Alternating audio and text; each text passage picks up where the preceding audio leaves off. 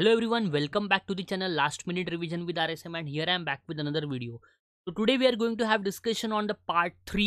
M MCQs which we have started and the subject is marketing for semester five this M C Qs will be useful for the students who are attempting the NET SET examination also so let us start with the today's part तो इसमें हम काफ़ी सारे नए M C Qs को discuss करने वाले हैं, जिसमें आपके काफ़ी सारे कंसेप्ट भी क्लियर होने वाले हैं। तो अगर आप पहली बार चैनल पर आए हो तो अभी सब्सक्राइब कर लेना।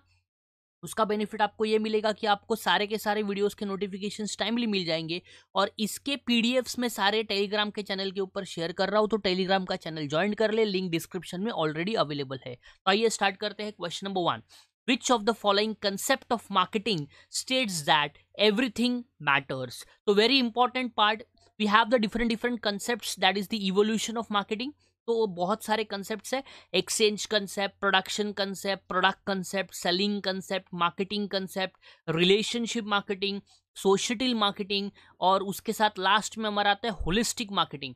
तो एवरीथिंग मैटर्स जो है,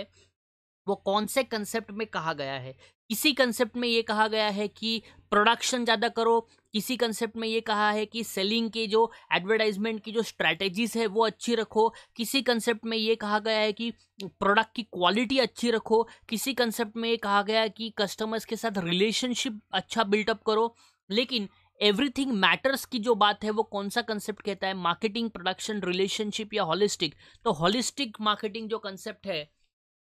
that specifies that everything matters तो एवरीथिंग मैटर्स एक काफ़ी इंपॉर्टेंट पॉइंट है तो ऐसे कौन से कंसेप्ट में कहा गया that is be the part of holistic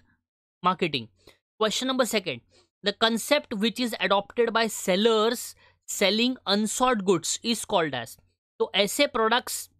जो सेलर सेल करना चाहता है, लेकिन कस्टमर उसे बाई नहीं करना चाहता। That is called unsought goods तो जिसके लिए बेस्ट एग्जांपल है इंश्योरेंस है एनसाइक्लोपीडिया है, ऐसे प्रोडक्ट्स जो कस्टमर खुद परचेस करना नहीं चाहता, उसको बताना पड़ेगा कि उसका इंपॉर्टेंस क्या है। तो ऐसे कौन सा प्रोडक्ट ऐसे कौन से कंसेप्ट में कहा गया है? Production concept product concept selling concept या एक्सचेंज कंसेप्ट तो this is the best example for selling concept selling concept is the concept which is focusing focusing on the unsought goods unsought goods मतलब ऐसे goods जो customer लेना ही नहीं चाहता, फिर भी वो प्रोडक्ट्स हम बेचना चाहते हैं। उसके लिए हमको क्या करना पड़ेगा? डिफरेंट डिफरेंट सेलिंग के टेक्निक्स को अप्लाई करके ऐसे प्रोडक्ट्स को बेचना पड़ेगा।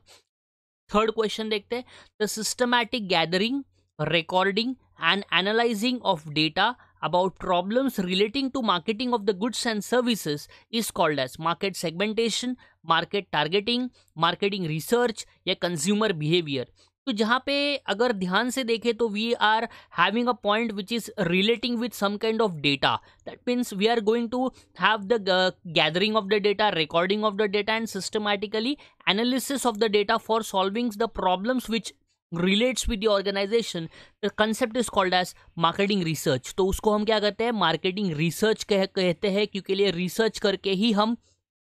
इन्फॉर्मेशन को कलेक्ट करते हैं उसको फिर एनालाइज करते हैं और जो भी प्रॉब्लम्स है उसको सॉल्व करने के लिए नेसेसरी काइंड के स्टेप्स लेते हैं। Fourth point which of the following best explains the psychological factors of consumer behaviour तो very very important part consumer behaviour के डिफरेंट डिफरेंट फैक्टर्स है, जैसे personal factors situational factor behavioural factors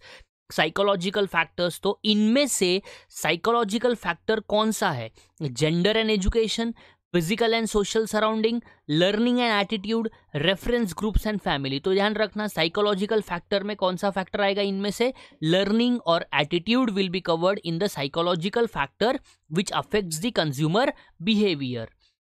fifth point a small portion in the actual segment is called as virtual marketing internet marketing, niche marketing या digital marketing. तो मैंने आपको STP का concept बताया था segmentation targeting और पोजीशनिंग तो ये जो तीन पॉइंट है, अगर हमने पूरे मार्केट्स को डिवाइड कर लिया हेट्रोजीनियस मार्केट को अगर हम होमोजीनियस मार्केट में डिवाइड कर लेते हैं तो उसे कहते हैं सेगमेंटेशन फिर सेगमेंटेशन बेसिकली बहुत सारे टाइप्स होता है डेमोग्राफिक डेमोग्राफिक सेगमेंटेशन होता है बिहेवियरल सेगमेंटेशन होता है जोग्राफिक सेगमेंटेशन होता है, बहुत सारे टाइप उसमें अवेलेबल है, लेकिन अगर हम एक सेगमेंट करें और वो सेगमेंट में भी सेगमेंट कर दे छोटा सा पार्ट तो उसको क्या कहते हैं? उसको कहते हैं niche marketing that is called as niche marketing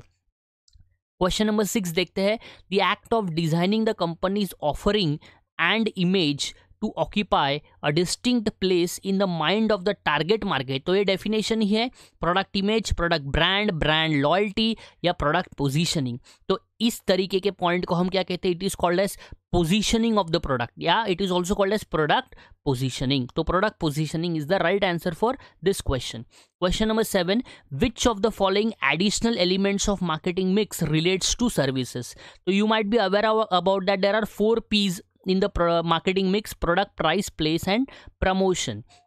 लेकिन अभी तीन एक्सटेंशन इसमें ऐड हुए हैं। तीन एक्सटेंशन मतलब जो सर्विस मार्केटिंग में यूज़ होते हैं। People problem and promotion people process and physical evidence price product and promotion people problem and pace तो इसका राइट right आंसर है people process and physical evidence तो people process and physical evidence these three elements are been added for the service marketing मतलब service marketing में four Ps तो रहेंगे उसके साथ ये थ्री पीस ऐड हो जाएँगे तो कितने होंगे सेवन पीस होंगे क्वेश्चन नंबर एट देखते हैं every brand has a value and the value of a brand is called as branding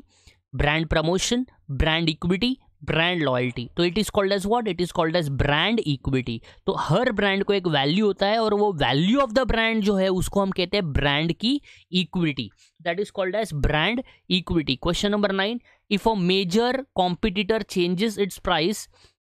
the other firms in the industry में also change their price irrespective of their cost और demand देखो pricing के बहुत सारे different different methods है. Cost plus pricing target return pricing market penetration skimming the price बहुत सारे different break even analysis तो अगर हम ध्यान से देखें तो कॉम्पिटिटर जो है, उसने प्राइस चेंज कर दी. तो इफ़ अ मेजर कॉम्पिटिटर जो मेजर है मार्केट में, जिसका मार्केट में काफ़ी बोलबाला है तो ऐसा कॉम्पिटिटर ने अपनी प्राइस चेंज की तो बाकी के फर्म्स भी चेंज कर लेंगे. ये देख के कि कॉम्पिटिटर्स ने चेंज किए वो लोग अपने डिमांड या कॉस्ट के ऊपर उसका कुछ भी एनालिसिस नहीं करेंगे। ऐसे प्राइजिंग टेक्निक को क्या प्राइस प्राइजिंग टेक्निक कहा जाता है? That is called as cost plus pricing going rate pricing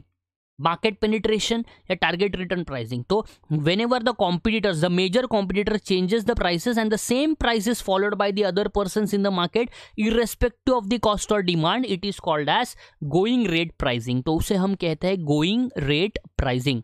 question number ten देखते हैं the process of extending an existing brand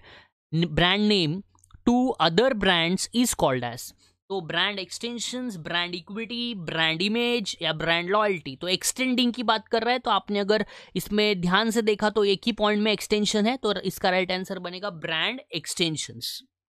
तो brand extensions will be the right answer for this question I hope this much is clear to all of you तो मैंने काफ़ी सारे conceptual base पे ही questions लिए हैं डीप में नहीं लिए हैं। जितने क्वेश्चंस कंसेप्चुअल पैटर्न में आपको मार्केटिंग में पूछे जाते हैं, वो सारे ये पॉइंट्स में ही से ही पूछे जा सकते हैं। तो इसको ध्यान से रिवाइज करके रखें। और अगर आपको वीडियो अच्छा लगा है तो वीडियो को लाइक करें, अपने फ्रेंड्स पर शेयर करें। और अगर आप पहली बार चैनल पर आओ तो सब्सक्राइब कर लेना। और आगे के वीडियोज़ के लिए आपको इसी चैनल पर वीडियोस आते रहेंगे। और इसके टेलीग्राम के ऊपर मैं पूरा का पूरा पीडीएफ शेयर कर रहा हूँ। Thank you very much as always work और हार्डर be smarter